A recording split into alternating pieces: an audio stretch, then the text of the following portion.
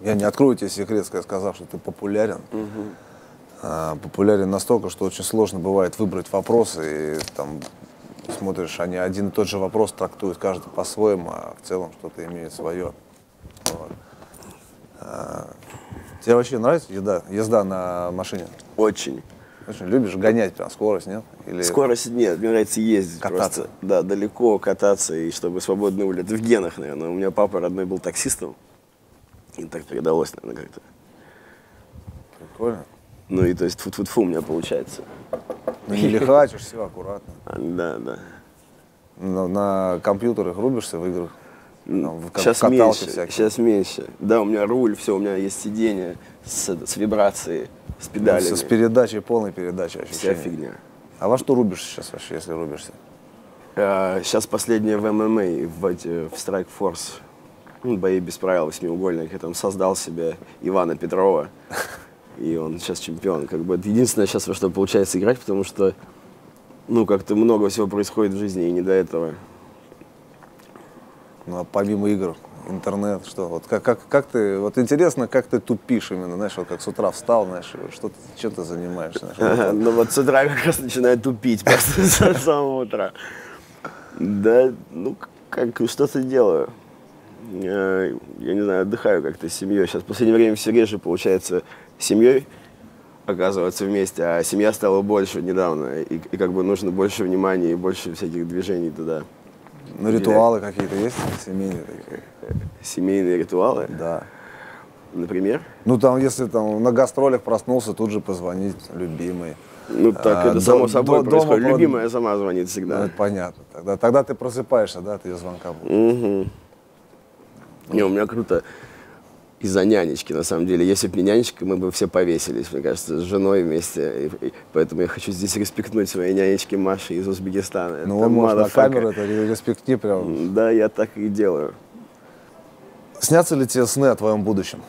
Мне вот недавно очень снился четко, очень снился конец света. Я летел в самолете, и при том он мне снился так, что я знаю, что я ну, то есть мне хочется верить, что это сон, я начинаю себе делать там больно, там как-то щипать. Я, то есть, ну, мне правда больно, это все, то есть это продолжает э, все происходить. И потом я там проснулся, и мы общаемся, и я сейчас одному из парней своих там рассказываю, говорю, типа, вот, мне снился конец света, начинаю ему описывать, что мне снилось. Он говорит, мне снилось месяц назад, и у нас с тем, то есть одна картина. Он говорит, да, такие вытянутые, серебристые. Я говорю, да, да, из них такие маленькие спускались. Я говорю, ну, то есть у нас все сошлось страшно. Да нет, ну что-то с ним, это... Я как бы так спокойно отношусь к снам. То есть, мне кажется, в этом нет ни... Мне кажется, это отпечаток просто чего-то ну, пережитого, я не знаю. Прошлое не снится? Нет, слушай, мне что-то в последнее время вообще мало чего снится. То есть я так устаю, что просто без задних ног падаю в конце дня. Выруб такой. Да. Салам алейкум, Леха. Малейкум ассалам. Скажи, пожалуйста, как ты относишься к исламу и посещаешь ли ты мечеть? Не посещаю мечеть, позитивно отношусь очень к исламу. Вот опять, салам, Леха, когда новый альбом?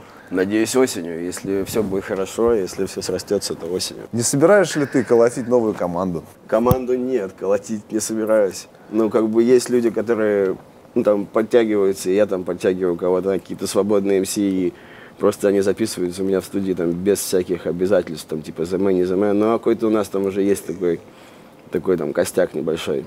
Человек 6-7, которые именно мы с ними одни какие-то интересы представляем и разделяем одну позицию. А ЗМ имеет отношение какое-нибудь к газу? Нет. Вопрос.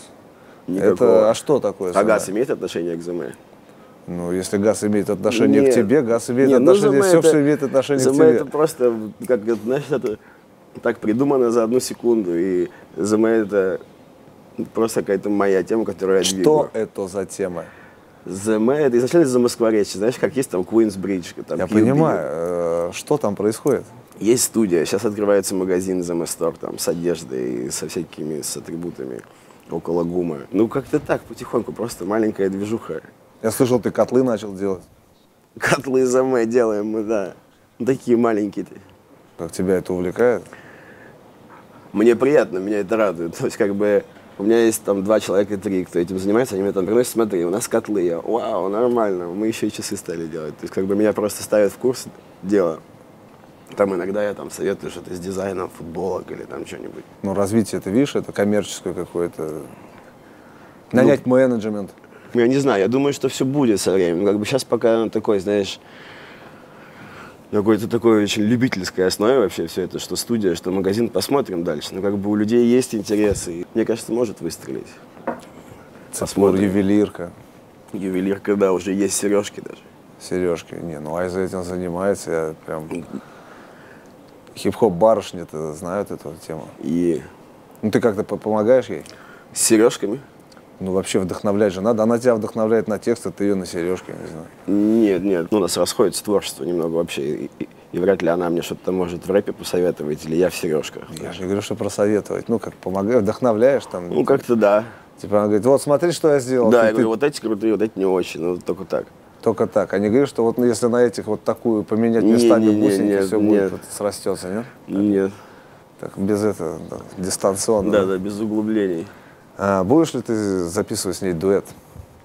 Блин, я не очень сильно против этого и не хочу. Ну, то есть она просит там очень давно что-то спеть, хотя уже где-то там в Украине крутятся по радио песни, типа исполнительница Айза Далматова, там, и как бы ей все там звонят, говорят, блин, так круто поешь, ты круто поешь, и она типа задумывается, может, мне и правда спеть уже стоит, как бы. Ну, хотя она петь вообще не умеет, Ну, зачитает. и не советую я этого делать, но она все рвется, хочет где-то у меня там засветиться на альбоме.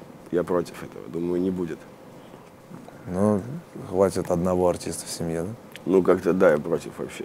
Как ты относишься к ныне суперпопулярному явлению, такому как Рэм Дига? Видишь ли ты себя на фиттексах, фитах с этим исполнителем?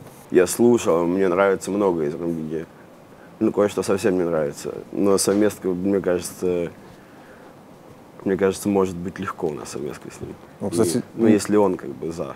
Если мне он. нужно сейчас много совместок вообще со всеми. И, я вот отбираю, с кем я хочу. А зачем? А у меня есть один план. Ну, ладно, ну как бы потом. Хорошо, знаешь, вот все время все спрашивают, такой вопрос задают, там, кого-нибудь посоветуй, кого ты там в последнее время увидел, какой-то там артист. А я хочу спросить, есть какой-нибудь артист, которого ты услышал и сказал бы, вот мог бы сказать, типа, вот его не надо слушать. Прям поберегитесь. Прям, чтобы тебя кто-нибудь, чтобы тебя прям привел в такой культурный шок. В плохом смысле слова. Из, из, из кого? Из русского рэпа? Ну, давай из рэпа, из того, чтобы он был более-менее так популярен. Ну, это да, это сразу себе, короче, еще одного кого-нибудь врага нажить. Но я могу сейчас кого-нибудь, да, привести. Не, ну есть же что-то, что вот так вот честно возмутило. Но я бы не советовал слушать рэпака. Есть Рэпака. такой рэпер, да, рэпак. Вот. Ну, ну, как бы один раз, может быть, стоит послушать его альбом, чтобы быть в курсе, но... Но, он, видимо, мало известен, да? То есть одного... Не, ну что, рэпака я видел, как я знаю его как ведущего. Я не видел, я просто слышал один трек, который я не то, что меня возмутил, а... Ну, я был в шоке в полном там. Как ты относишься к хейтерам? Слушай, спокойно, я умираю каждую неделю вообще. Вот это очень, очень странная вещь. То есть, ну, разными способами отъезжаю каждую неделю, и, и при том там факты, знаешь, там стопроцентная информация, Википедии даже написаны прям годы жизни мои. И, ну, то есть это очень пугает так на моменте. Я уже привык, но первый раз для меня был шоком. Я там снимал какие-то, нет, я жив, там, посмотрите сюда, я правда жив. А сейчас просто, то есть как бы там видно, что это какой-то штат сотрудников, понимаешь? То есть ну, один человек, он бы такое не смог сделать. Там с разных аккаунтов пишут разными словами, разным людям. Ну, жесть, неприятно. Последняя была новость. Значит, от мамы звонок и говорит, оказывается, что у тебя, что ты сын от Гурченко, значит, что ты сын что мама твоя Людмила Гурченко умерла, и ты, короче, об этом узнал, ты пошел вмазался, отъехал от передоза, а я захотела выброситься с моста, и сейчас она в психиатрической больнице лежит. А ты где-то, то есть, ну, то есть маме это кто-то рассказал, подружка ее какая-то позвонила. Интернет прочитала, да? Ну а хочешь что-то с этим делать именно, чтобы отбить эту какую-то... э, Ну, это, просто нездорово. Это энергия, да, ну так она же отсекается. Отсекается как? Это надо вычислять по Нет, айпишнику. там, нет, как- нет, тем же творчеством, которым она прилипла, это прилипла, тем же творчеством она и отсекается. Ну, мне, ну, мне как бы вообще все равно на это, что происходит. Не, вопрос не в этом. А Хотел бы ты отбить эту энергию, просто от- от- отлепить от себя. Чтобы этого не было, конечно. Ну, это, это же мешает. Да. Тяжело. Вот. Как ты относишься к сексуальным меньшинствам вообще? Ну, Чувак как- тут это скажешь, ну, я к ним не не отношусь. отношусь. типа. Никак не отношусь. Ну, как, ну, нет. Ну, то есть они имеют место быть, наверное, где-то, но главное, чтобы их не было рядом и как бы на мои глаза не попадались и не, не, не- знаю, там, не делали это при мне. Заранее благодарен Если бы вы узнали, если бы все узнали великую тайну центра, что бы это изменило? Я не знаю, что там за великая тайна центра, правда. Вот мне самому очень хочется узнать, какая там тайна, там правда похоронена где-то. Мне больше хотелось самому узнать. Ну, пусть она, эта правда наконец раскроется. Я вот, ну, правда, очень давно мне хочется, потому что столько вокруг этого разговоров. Правда, вы, а вы узнаете правду, а в следующем альбоме вы узнаете еще больше правды. Ну, уже хотелось бы послушать хоть немножко. Вопрос был тут, как-то не рассыпались у меня. Как ты относишься к сольному альбому Тахи? Как ты относишься к сольному альбому Слима? Что ты вообще думаешь об этих альбомах? Хорошие альбомы, правда, ну как бы, ну мне нравится. Я очень хочу «Отличать людей» послушать, еще не слышал, вот. Могу признаться. Но «Птахи» мне понравился, и «Зануды» понравился. Слима холодно, вот так себе, как-то холодно, правда. А «Отличай людей» хочу послушать. Ты как-то развернуто не хочешь, да, говорить об этом? Да и нечего. Здравствуй, Алексей. Вы записали совместный трек с группой Триагрутрика. Планируются ли какие-нибудь еще совместные проекты? И как насчет того, чтобы Триагрутрика вошла в команду Газгольдер? Это надо, наверное, у кого-то другого спросить.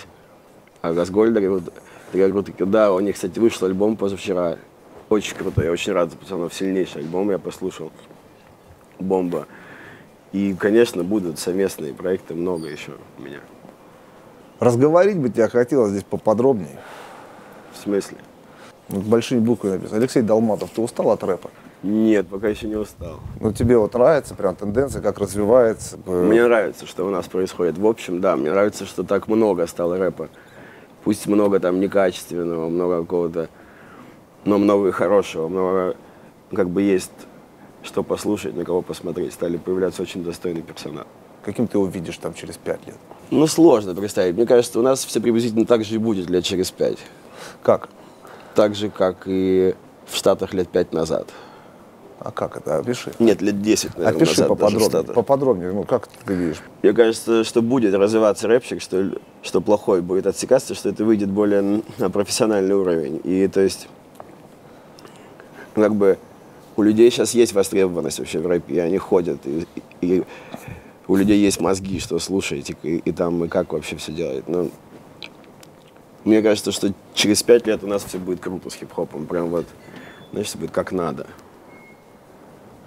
Но меня уже не будет, наверное, в хип-хопе. Вот я как раз хотел спросить про продюсирование. Может, ты продюсированием занимался в рэпчике? Не знаю, я очень ленивый. Не, я думаю, я что-нибудь другое, наверное, соображу. На что, например? Ну, я соображаю уже. Соображаю? Ну, то есть у меня же там китайский язык в запасе. Кстати, не хотел бы ты свой альбом перевести на китайский язык? Ты прям как в воду смотришь сейчас, я этим и занимаюсь. Интересно, миллиардная аудитория, что могу себе сказать. В любом случае, даже если одному проценту слушателей или даже полпроцента слушателей взять. Как Витас. Витас же сейчас переписал свой альбом на китайский и все. Ну да. Он там национальный герой. Не, я так не хочу, но ради прикола, да, я сделаю несколько треков на китайском. О чем? О том же самом. Ну, то есть, представляешь, если какие-нибудь треки старые там из моего творчества про всякие там... Представляю, но не смертная казнь за 228. Так вот, представляешь, какой-то фурор. Так им ничего не строить, запретить YouTube э, у себя в стране, а ты думаешь, они могут и не пустить на рынок? Не будут слушать из-под полы как-нибудь качать, ты что, это круто будет. Да, прикольно. Китайский гуф. Mm. А как называться будет? Гуф как будет называться? Да, как по- по-китайски гуф сказать? Слушай, вот об этом я не думал еще. Произносить как Не, ну как произнести, наверное, как-нибудь куфа как-нибудь. Куфа? Ну да, у них же определенные слога, там набор слогов, то есть там, там не скажешь, например, Александр, там Да, как- Алик, Хасан, да. А как бы ты сказал гуф? Можно сказать, как гуфей, гуфу. Вот это гуфу нормально. Гуфу? Кунг-фу, гуфу. Типа, да. Кунг-фу, а гуфу. Интересно. Леха, привет. Хотел поинтересоваться не тем, с кем ты будешь писать альбомы. Как ты к кому относишься, расскажи. Лучше как дела... А, все. Просто как дела? Да. Не, парень не хотел спрашивать, как ты что-то делаешь про альбом, потому что об этом спросили все другие уже. Он хотел бы спросить, а, как дела у твоих близких, как бабушка? Бабушка нормально. Нянчится с внуком? Бабушка плохо видит очень. Она живет одна, то есть она отказывается там к нам переезжать или что-то. Она живет одна вообще у себя там, вот, где я всю молодость провел. И ну, там сейчас мама с папой еще в Москве такие проще, они ее забирают все время. А так бабушка конечно, сдает позиции потихоньку. Ну, будет еще совместки с бабушкой. Очень надеюсь. А как сын? Это вообще разрыв отдельный. Просто последние месяца три, это просто что-то первые, знаешь, там 5-6 месяцев. Ну, то есть я понимал, да, что как бы это мой ребенок, вот он там ходит, все. Ну, то есть мне говорят, там, поиграй с ним, а, а с ним вообще, ну, там нечего. Он, ну, как знаешь, там человек, а еще он никуда не смотрит, ничего не делает. А сейчас это просто человек. Он, ну, это вообще, я могу про него очень долго э, э, о сыне рассказывать, но это самый крутой вообще человек, которого я видел, самый чистый вообще просто на планете человек. Видишь себя в нем? Меня так вообще вскрывает порой. Я просто вот так могу смотреть, и потом, так, знаешь, типа, вау, это мое, короче. То есть не было такого, что прям раз, и я папа такой, все, пошли, там, Сэм, ты мой сын, все. А сейчас просто с каждым днем так где-нибудь. То есть понимаешь, что все уже все не так просто, как раньше, уже заднюю не включишь никакую. Мечтаешь уже за вас двоих, да? Да, уже и мечтаю о дочке еще. Будешь уже мечтать за троих тогда. Ну, ты, кем ты видишь, что станет Сэм? Абсолютно вообще, это его дело, то есть пожалуйста, сейчас столько возможностей, открыты все горизонты, делай, что хочешь. То есть мне хотелось бы, чтобы он пошел там заниматься каким-нибудь спортом. Ну вот именно, что конкретно я хочу, чтобы он пошел лет в 6 играть в теннис большой. И то есть больше прям каких-то глобальных требований у меня нет. Ну, а китайский учить? как, что вообще, что ему будет интересно. Может быть, он будет каким-нибудь там, не знаю, он очень похож на такого ботаника, то есть, знаешь, он очень аккуратненько все делает, прежде чем там взять что-то, он так, знаешь, упадет, не упадет, потрогает обратно, поставит пальчик и все. Может быть, будет там каким-нибудь, не знаю, там, технарем, знаешь. Педантичен? Педантичен очень, прям до мелочей. В общем, это не другая сторона тебя, да? Да, да, то есть не такой там шалабала. Это здорово. Здорово. Это очень здорово. О чем больше всего думаешь в последнее время? Думаю вот о пенсии о своей рэперской. Как, как куда? Ну, 31. Ну, 31, ты представляешь, сколько можно? 31 год мужик и, и скачет что-то по сцене. Ну, работа такая, слушай. Ну, работа такая до поры до времени. Ну, не скачи по сцене. Спасибо, Можно же выйти спокойно. Сесть на стульчик, да, анплакт. Ну да, что рассказать, у вас что, петь не надо, Лещенко из себя строить. Спокойно вышел, рассказал, месседж пока есть. Ну, пока есть месседж, что он ты делал. Месседж же меняется, ты же расскажешь о том, что у тебя сегодня. Ну, почему можно, можно, почему бы не рассказывать о том, что тебя волнует уже взрослым? Согласен, ну, посмотрим. Но мне кажется, рэп это скорее для вот до 30 что-то. А после 30? А после 30 шансон начнется. Шансон на китайском. Не, ну это интересно же.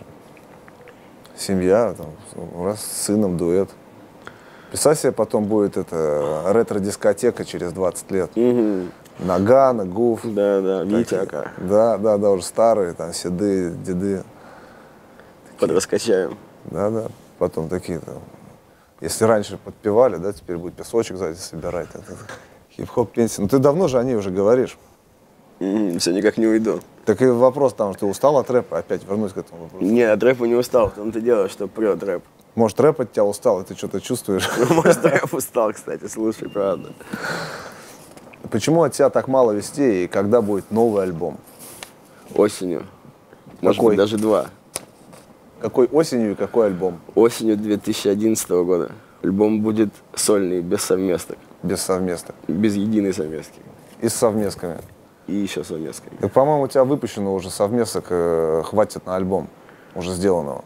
Не-не. Ну, как бы эти же совместки уже задействованы. Ну, это. ничего страшного? Не, ну так нельзя. Ну, как? Эксклюзив надо, чтобы было.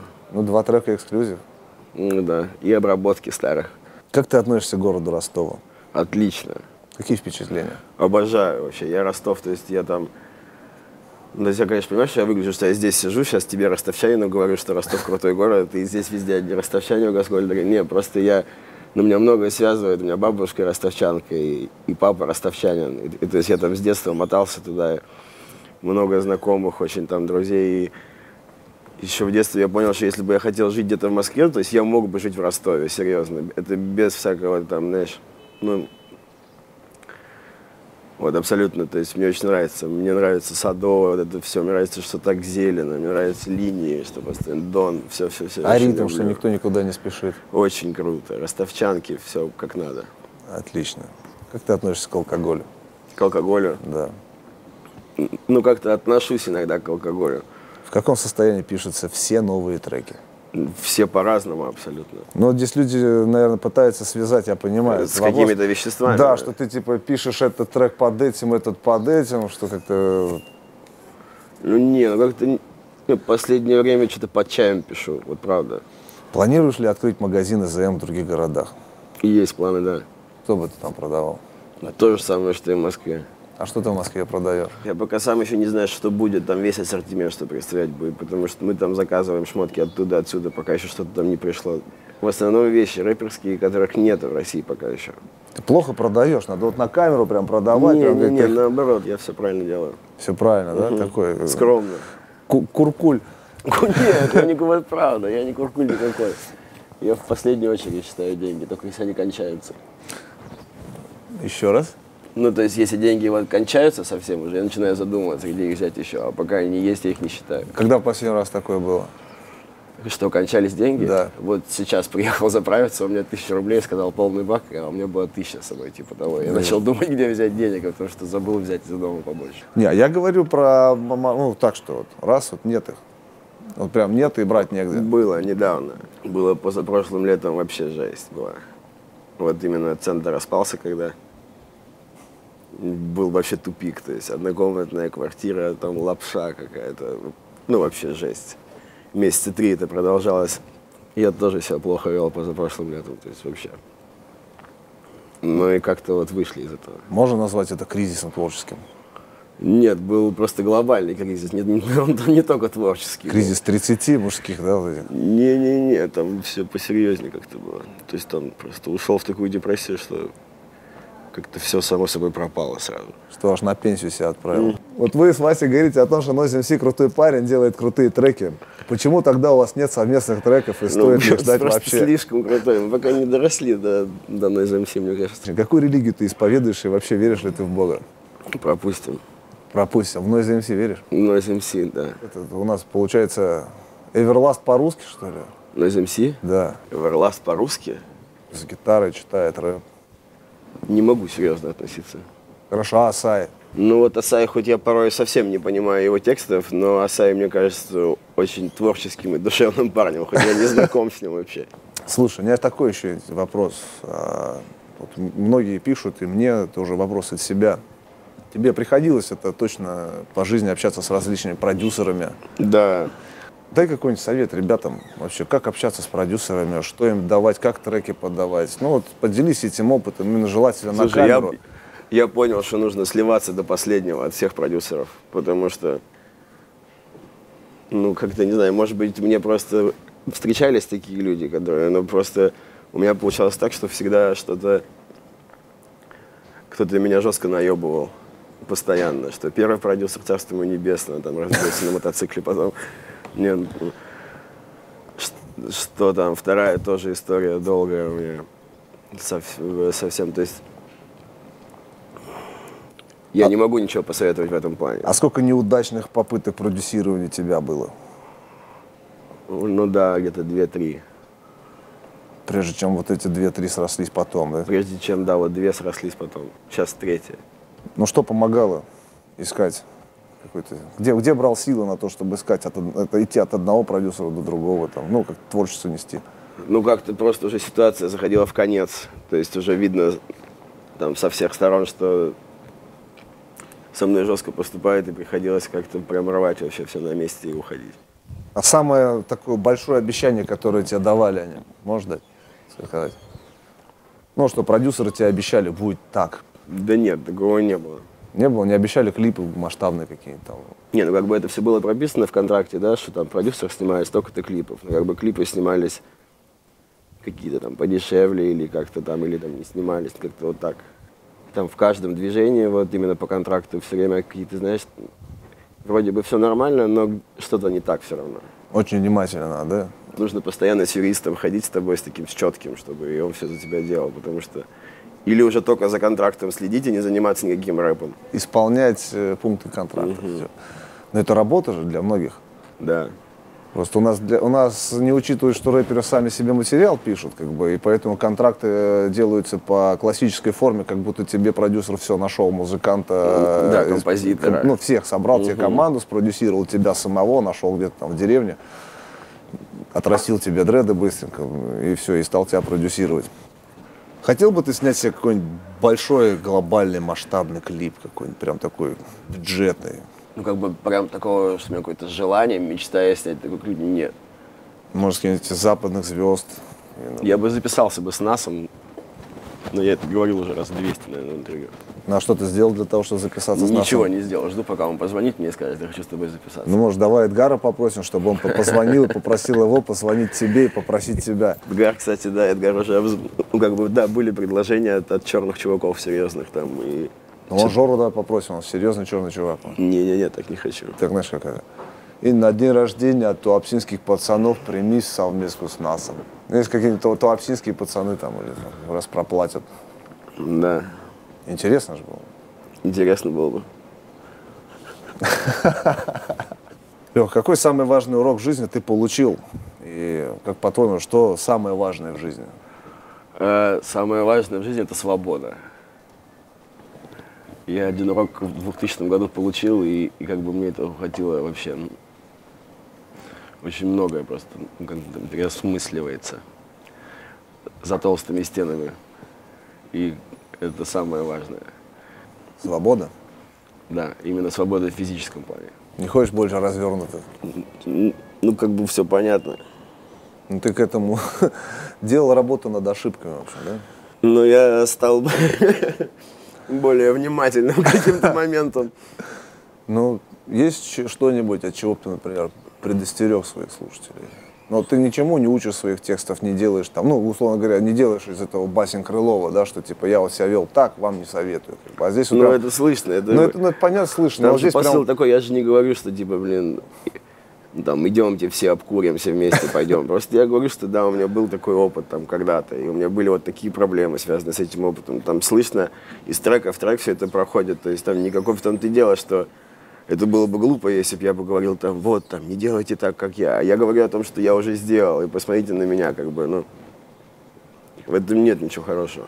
предостеречь э, вот от своего слушателя именно сейчас вот одной фразой, прям не, не конкретно там, нет, не употребляй наркотики, Не это употребляй плохо. наркотики, а это как-то вот плохо. так в целом, что типа бди, следи за собой, ты себе пригодишься, что ты там нужен себе еще и после 30 тоже, что жизнь не кончается, как-то Да. обнадежить. Я в последнее время стал очень серьезно ну, задумываться о своих каких-то совершенных поступках там, в молодости. И, и то есть только сейчас это начинает сказываться на мне, на здоровье, на моем, на какой-то, знаешь, там, репутации. То есть, если я сейчас, например, тусуюсь где-то прямо как тусуюсь, то есть для меня каждая тусовка как последняя. Я с утра вообще не могу встать, все. У меня раньше такого не было. И, и то есть я понимаю, что еще лет пять пройдет, и мне очень много органов скажет, эй, вспомни, вспомни все просто. Поэтому, ну правда, и очень много изменил бы я в своей жизни то, что я делал раньше. Может быть, это какой-то нужный опыт был, но слишком многим пожертвовал я в свое время ради каких-то, каких-то вообще, вот, ну, там, секундных каких-то удовольствий. В общем, не был цельным, Никогда. но сейчас ощущаешь свою цельность какую-то. Слушай, ну как-то, вот, знаешь, в последнее время стал собираться немного более каким-то, стал таким. Ну, то есть лишний раз там никакую-нибудь глупость не сделаю. Ну, раньше- думаю, да. А раньше все подряд, come on. Я здесь открыт для всего вообще. Какие качества в человеке ты считаешь самым главным вот, от Original Bar? Хорошо стоят два рядом вопроса. Э, Самые ценные, Главными. ну, наверное, честность и, я не знаю, открытость, преданность, ну, что-то такое. Но больше всего меня бесит зависть, честно говоря. Вот. ну, Зависть людей толкает иногда вообще на какие-то непонятные поступки. То есть потом кажется, что это уже даже и не зависть была. Ну, это же грех. Зависть. Ну, как-то вот я это замечаю в жизни. То есть меня обламывают завистливые люди. Я их как бы чувствую, выкупаю сразу. По взгляду. Вообще, то есть, ну, как бы есть такая фигня. Ну да, они свои неудачи ищут в чужих успехах. Да, да, да. Мне встречаются на пути такие бывают. Ну, последнее время реже. Легко расстаешься с людьми вообще по жизни? Вообще нет, как бы так не привык расставаться с людьми, ну как с некоторыми расстался. Но всякое бывает в жизни. Не, ну у тебя профессии, как-то призвание даже, уже можно сказать, э, как вокруг через тебя прошло столько людей, сколько через простого Нет, смертного нет, не очень сложно, тем более с людьми, которыми там провел несколько лет вообще там бок о бок. А за время своей гастрольной деятельности э, обзавелся друзьями в других городах, именно Конечно. прям близкими, прям что Есть, да, есть. В Новосибирске есть вообще пара пацанов моих. Да в каждом городе, наверное, в Краснодаре, в Ростове, везде есть. ты любишь то, что делаешь. Я люблю то, что делаю. Не устал? Нет, ты спрашивал. Не, я спрашивал, устал ли ты от рэпа, я здесь именно от того, что делаешь. От, от гастролей? Да? От гастролей устаю сильно. А что и больше всего изматывает? Слушай, наверное, переезды между городами, именно переезды на каких-то машинах. То есть самолет, самолет тоже изматывает, хотя кажется, что, знаешь, там полтора часа там взлетел, сел, а ну, все равно изматывает общение с новыми людьми. Очень много, типа там приезжаешь и все хотят, э, ну, чтобы, знаешь, чтобы ты их запомнил, там, пообщаться, и, и все хотят, ну, не знаю, что-то от тебя получить, ну, какую-то энергию, как-то, знаешь, себя проявить, а ты и сюда, и сюда, и, и там приезжаешь, скажем, город там второй раз, и подходят люди и говорят, ну, как меня зовут, как меня зовут, скажи, а ты там, ну, видел его год назад, там, две минуты пообщался с ним и стоишь, а, Димон, а, знаешь, ну, вот изматывает то, что много новых людей и всяких там новых имен, короче, знаешь, и, и фоткаться обламывает тоже очень. А если больше платили, меньше бы изматывало? Ну, очень много надо платить, чтобы меньше изматывало. Когда ты планируешь выпустить 200 строк? Они будут в альбоме. Как поживают твои родители? В интернете куча информации о тебе, но ничего не пишут о родителях. Родители нормально, они живут за границей в Таиланде уже 6 там, или 7 лет. Сейчас, правда, в Москве. Вот они приехали, они сейчас летом в Москве, и там в октябре опять в Таиланд. Все хорошо. Всегда загорелые, отдохнувшие такие, знаешь. Как они Папе- к твоему творчеству относятся? У меня папе 74 года. Он слушает твои треки? Но он в курсе, там, что я делаю, как бы.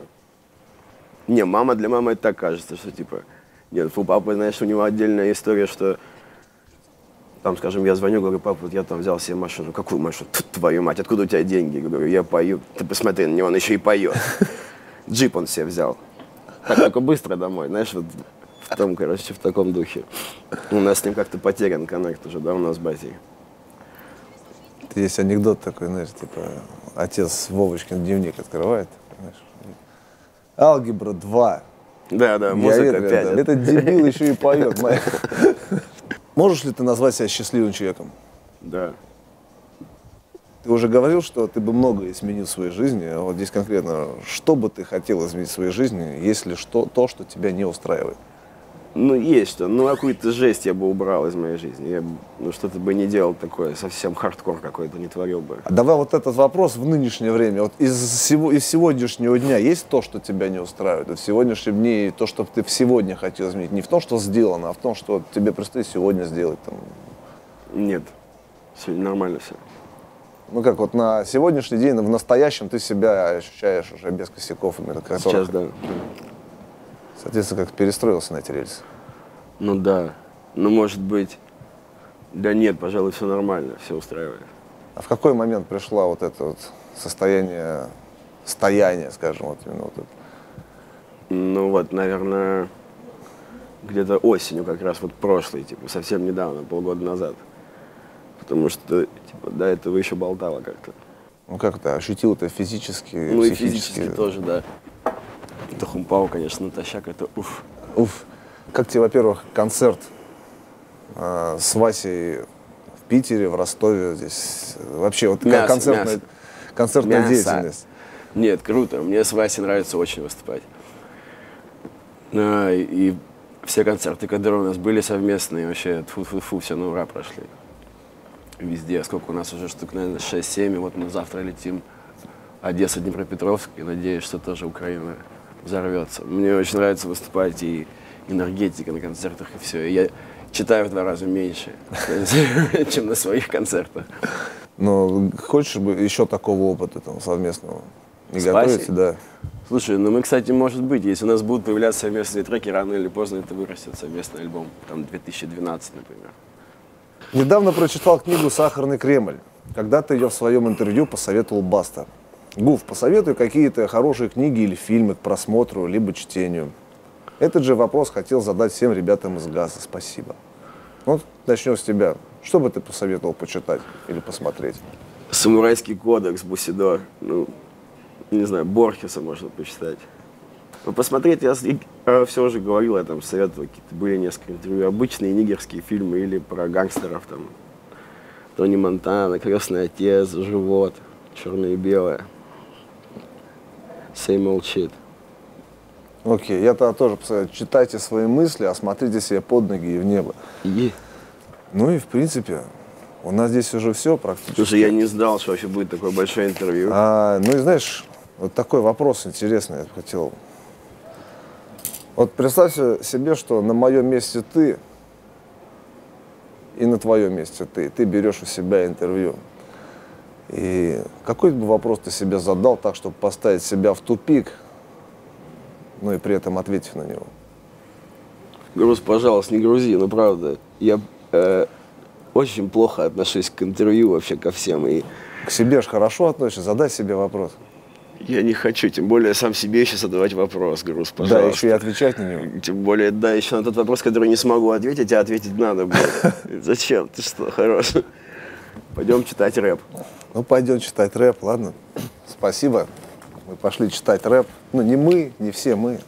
Но пошли читать. Да, передай привет ребятам, вон в ту камеру, Каким? которые все это будут слушать.